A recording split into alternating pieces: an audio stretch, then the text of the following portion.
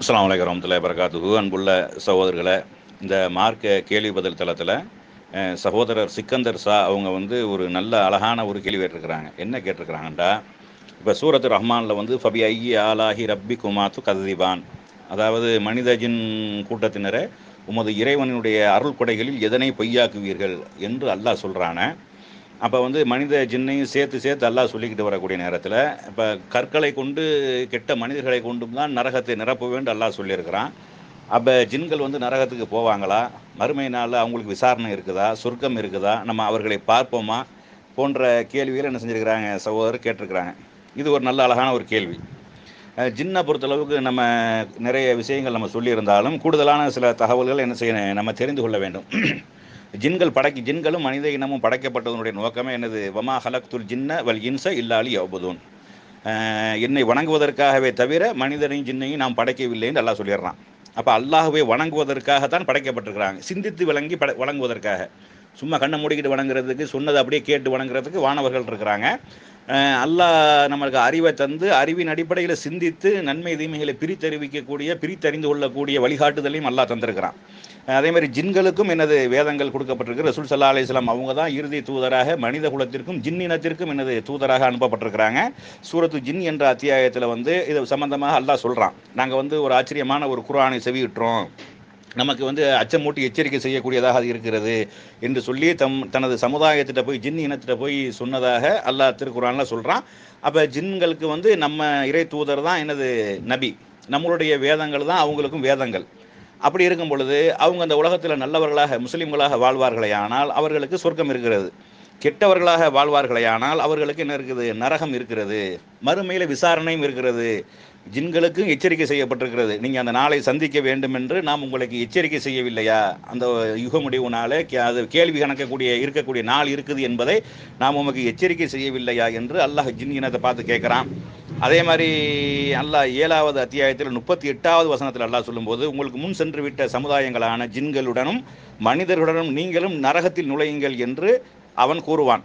ஒவ்வொரு சமுதாயமும் அதில் நுழையும் போது தம் சகோதர சமுதாயத்தை என்ன செய்வாங்க? சபிப்பார்கள் அப்படின்னு நல்லா சொல்கிறான் அப்போ மனிதனையும் ஜின்களையும் கொண்டு போய் நரகத்தில் போடும் பொழுது நம்ம அவங்கள சபிக்கிறதும் அவங்க நம்மளை சபிக்கக்கூடியதாகவும் இருக்கும். மறுமையில் எல்லாரும் எல்லாத்தையும் பார்ப்பாங்க. மறுமை நாளில் அல்லாவே பார்க்க முடியும்டா? அல்லாவுடைய படைப்புகளை பார்க்க முடியாதா?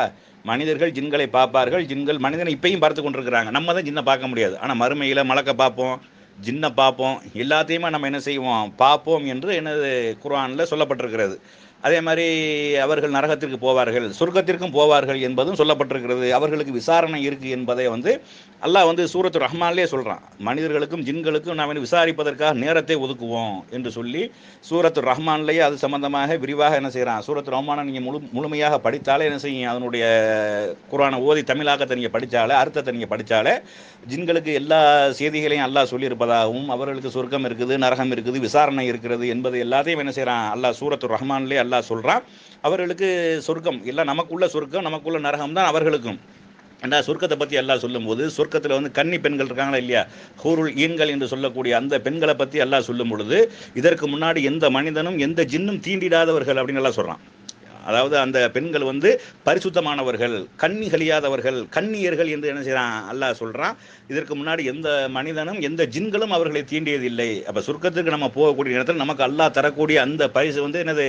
பரிசுத்தமான ஒரு பரிசு என்பதையும் என்ன செய்கிறான் அல்லாஹ் சொல்லி காட்டுறான். நரகத்தில் நாம் வந்து ஜின்களை கொண்டு நம்ம நிரப்புவோம் என்று அல்லாஹ் சொல்லிடுறான் ஜின்களிலும் மனிதர்களிலும் நரகத்திற்காகவே பலரை படைத்துள்ளோம். அவர்களுக்கு நம்ம உள்ளங்கள் உள்ளன. ஆனால் அவற்றின் மூலமாக அவர்கள் புரிந்து கொள்வதில்லை. அவர்களுக்கு கண்கள் உள்ளன அவற்றின் மூலமாக அவர்கள் பார்ப்பது இல்லை அவர்களுக்கு காதுகள் உள்ளன அவற்றின் மூலமாக அவர்கள் என்னது நல்லதை கேட்பதில்லை அவர்கள் கால்நடை போன்றவர்கள் இல்லை அதைவிட வழிகட்டவர்கள் அவர்கள் அலட்சியம் செய்தவர்கள் என்று சொல்லி அல்லாஹ் ஏழாவது அத்தியாயத்தில் நூற்றி எழுபத்தி ஒன்பதாவது வசனத்தில் எல்லாம் சொல்லி காட்டுறான்.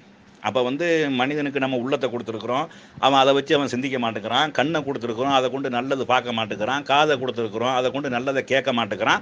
அவர்கள் கால்நடை போன்றவர்கள்னு சொல்கிறானா இல்லையா? ரெண்டு பேர்த்தையும் சேர்த்துன்னு சொல்கிறான் மனிதர்களையும் ஜின்களையும் சேர்த்து தான் சொல்கிறான் அவர்கள் கண்ணை கொடுத்துருக்குறோம் காதை கொடுத்துருக்குறோம் சிந்திக்கிற உள்ளத்தை கொடுத்துருக்குறோம் மூளையை கொடுத்துருக்குறோம். ஆனால் என்ன செய்ய மாட்டேங்கிறாங்க சிந்திக்க மாட்டுக்கிறார்கள் என்று சொல்லி அல்லாஹ் தன்னுடைய திருமறை குர்வானில் சொல்கிறான் அதேமாரி நபிகள் நாயம் சல்லா அலிஸ்லாம் அவங்க சொல்லும் பொழுது சொல்கிறாங்க இன்னிடத்தில் வந்து ஜின்கள் வந்து என்ன செஞ்சு நாங்கள் வந்து இந்த சூரத்து நஜ்மு அத்தியாயத்தை ஓதி கொண்டிருக்கக்கூடிய நேரத்தில் அதில் சஜிதா வஸ் வசனம் வரும்போது நாங்கள் சஜிதா செய்யக்கூடிய நேரத்தில் மனிதர்களும் இணை வைக்கக்கூடியவர்களும் ஜின்களும் சஜிதா செய்தன என்று சொல்லி புகாரில் அந்த ஹதீஸ் பதிவு செய்யப்பட்டிருக்கிறது.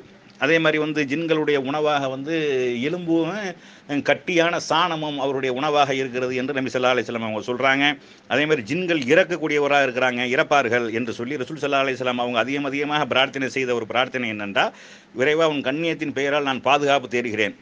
உன்னை தவிர வேறு இறைவன் இல்லை. ஜின் இனத்தாரும் மனித குலத்தாரும் இறந்து விடுபவர்கள்.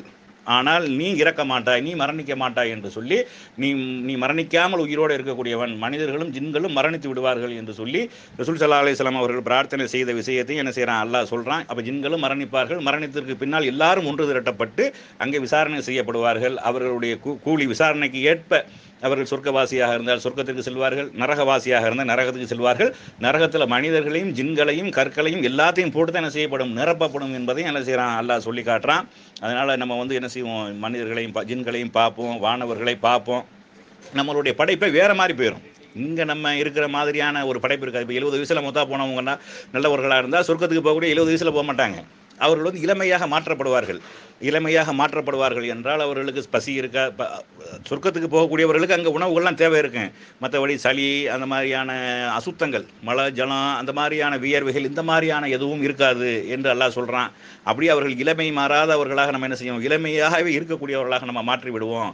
அவர்களை வந்து எனது பெரிய படைப்பாக விசாலமாக நம்ம ஆக்கி விடுவோம் என்று சொல்லி அப்படியெல்லாம் நபி ஸல்லல்லாஹு அலையம் அவங்க சொல்கிறாங்க இங்கே குருடனாக இருக்கக்கூடியவர்கள் அங்கே என்ன செய்வாங்க? பார்வை உடையவராக இருப்பாங்க. இங்கே பார்வை உடைய பார்வை உடையவராக இருக்கக்கூடியவர்கள் கெட்டவர்களாக இருந்தால் அங்கே குருடனாக எழுப்பப்படுவார்கள் என்றெல்லாம் சொல்லுகிறது. அதனால் சொர்க்கம் நரகம் ஜின்களுக்கும் மனிதர்களுக்குமாகத்தான் என்ன செய்யப்பட்டிருக்கிறது? படைக்கப்பட்டிருக்கிறது. தீர்ப்பு வந்து அல்லாஹ் எல்லாத்திற்கும் தான் தீர்ப்பு சொல்லுவான். ஜின்களும் நரகத்திற்கு செல்வார்கள். ஜின்களும் சொர்க்கத்திற்கு செல்வார்கள் என்பதை என்ன செய்யணும் நாம விளங்கிக் கொள்ள வேண்டும்.